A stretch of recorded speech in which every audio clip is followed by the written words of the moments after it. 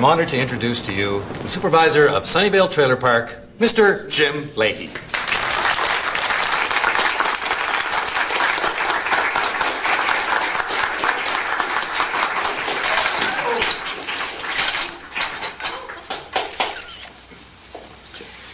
It's a real honor, ladies and gentlemen, and a real pleasure. Thank you. You know, when someone needs your help, you have to help them in any way you can. No matter what color they are, no matter what country they live in, and no matter what state you're in. Thanks for coming out, everybody. I'll never betray your trust. Hi, Randy.